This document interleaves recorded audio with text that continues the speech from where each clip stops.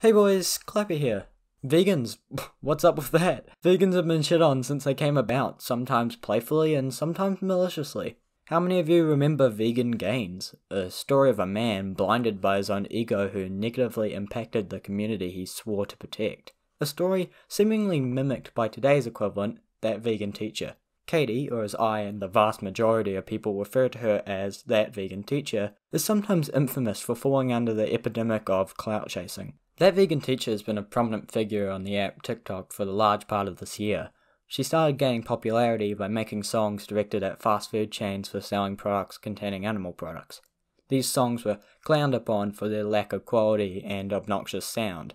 Before we begin to delve into the rabbit hole of how that vegan teacher took over the internet for a small time, I must preface with how I am an ally to veganism and its ideals. I myself am not a vegan, although I will staunchly defend anyone who chooses to put their health and environmental issues before their pleasure. Where I find my grievance is how she chooses to instill these values in any person she encounters.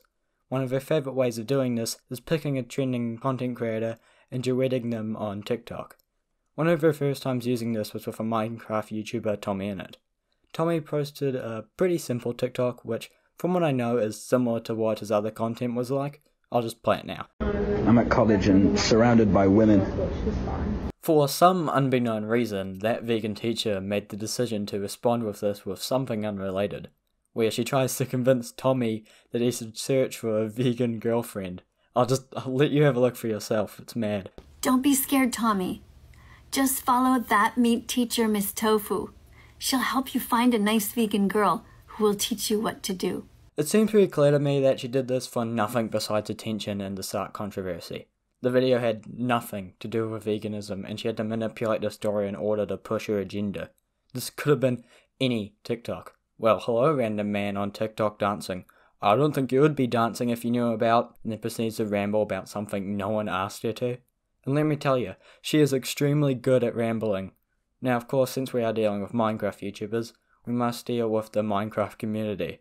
In response to the rise in popularity of this TikTok, she made another TikTok addressing TommyInnit fans. Innit fans, what the fuck is the matter with you guys? You're losing your minds. I saw some of the duets that you guys did to that little 15 second video I did for him. You know the one where I was just trying to encourage him to become vegan? What the fuck are you guys doing? Some of you are crying. Some of you are punching the camera, going fucking crazy. You're like, fuck off, stay away from Tommy. You know, he's at college. I'm a teacher. I'm allowed to talk to him. yeah, no, your intention was not to educate Tommy. They were to ride off of Tommy's success to garner more attention. Otherwise, you would actually say something either educational or to people who would care to listen. I can imagine being constantly harassed by fans of a Minecraft YouTuber would be upsetting, but there's no need to lie now. You know what you should be crying about? The rape, the torture, and the murder on all of your plates. What? No one should be crying over the food on their plate. I don't care how vegan you are, crying is not a normal reaction to have to a slice of meat. Not to mention how what other people determine as unethical and ethical is none of your business. If someone wants to choose to not care about eating meat, then they have the free reign to. Through any wars, you've never suffered, you have no fucking idea about the world. If that's gonna make you cry, God help the next generation. You guys are fucked up. Seriously. Get your priorities straight. You have never been involved in a war. You have no right to say something like that. We are talking about eating meat. This is not comparable to war. You're fucking delusional to believe they're at all similar.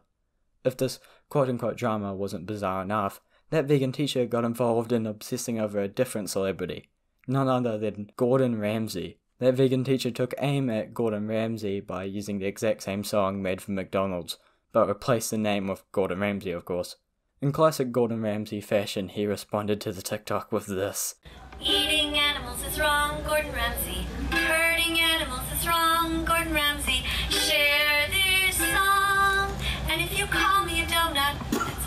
Vegan donut. As you're vegan from now on. Who would have thought that in the world we live in today we would see these two interact with each other? Now, that vegan teacher took offense to this, and continued to spend a lot of her time creating video after video about Gordon Ramsay, to the point of pure obsession and lunacy. Who has 15 million followers here on TikTok. And I'm going to speak to you directly, Gordon. So, Gordon, one of the problems that I noticed that you have is you don't seem to understand the difference between food and animals. So, food is something that you get out of the ground or you take it from a tree. It is something that doesn't have feelings and it's something that's very healthy for us to eat. Now, animals are alive. They are sentient beings like us, like chickens and cows, sheep, pigs. You know, these things are not actually foods. Yet another irrelevant TikTok. This opinion has nothing to do with Gordon Ramsay. Its only correlation being that you said it was directed towards Gordon. Not only that, but it's an opinion that doesn't make sense. Food is just nutrients that we eat. Like it or not, animals are food. It feels like you just made this up as fast as you could to ride on the drama between you and Gordon fucking Ramsay. She has gotten to the position she's at by being the biggest nuisance he could be. She's attacked people like George Not Found as well. George made a TikTok which is just him begging for likes. It's not a TikTok I like, it just feels like he's harvesting likes from his very obsessive audience without any sort of joke or anything to laugh at. But that vegan teacher accused George of being totally complacent in, and I quote, the rape, torture, and murder of innocent animals. It just feels like that vegan teacher has a checklist where she crosses off popular YouTubers to annoy. She sues Dream more than anyone else to push her agenda, but she can't even do that.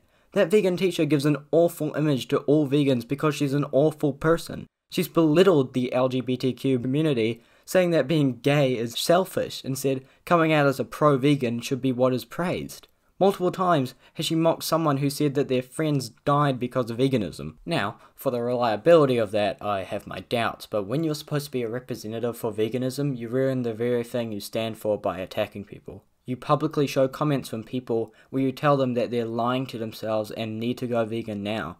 Instead of providing information, you constantly demand people to turn veganism, which does nothing but turn people off.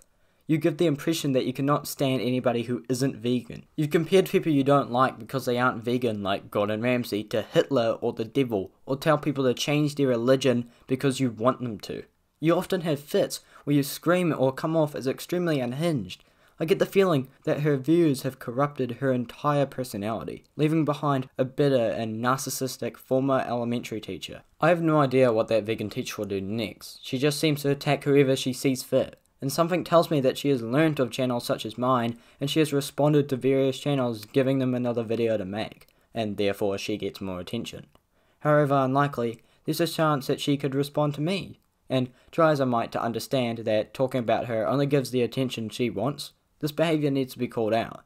People like her forget that we will get bored, and she'll become a past memory to joke about, a time that appeared, just as fast as it will leave. The end of that vegan teacher. Thanks for watching, guys. I understand that a lot of people have covered this topic before me. Again, this was just another interesting topic I've watched progress. Anyway, that's enough for today. I'll see you losers next time. Bye.